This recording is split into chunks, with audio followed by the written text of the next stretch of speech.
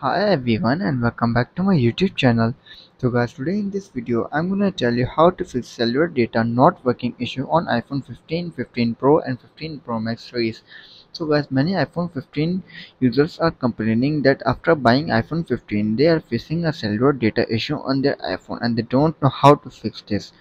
So guys don't worry in this video I'm gonna tell you how to fix this issue on iPhone 15 of cellular data not working. First of all, you have to restart your iPhone. A simple restart can often fix minor software glitches they may be, that may be preventing cellular data from working properly. For restarting your iPhone, simply tap on your settings, then go back and then go to shutdown. Shut down your iPhone and then restart it after 15 to 20 seconds later.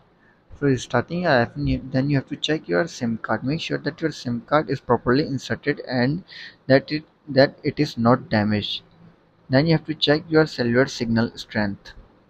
So guys if you have a weak cellular signal cellular data may not work properly. Try moving to a location with a stronger signal. Then you have to turn off and on cellular data. To do this simply you have to go to your settings then go to cellular and simply enable it and then disable it and then again enable it and see if it's work on that if it still doesn't work then you have to update your iphone 15 to the latest version of ios Apple often releases updates that fix bugs and improve, improve performance.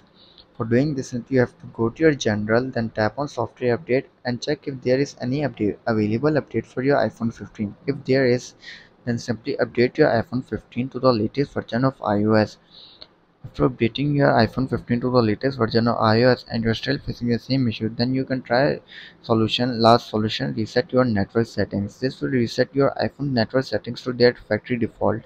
To do this simply you have to go to your settings then go to general scroll down and then tap on transfer or reset iphone.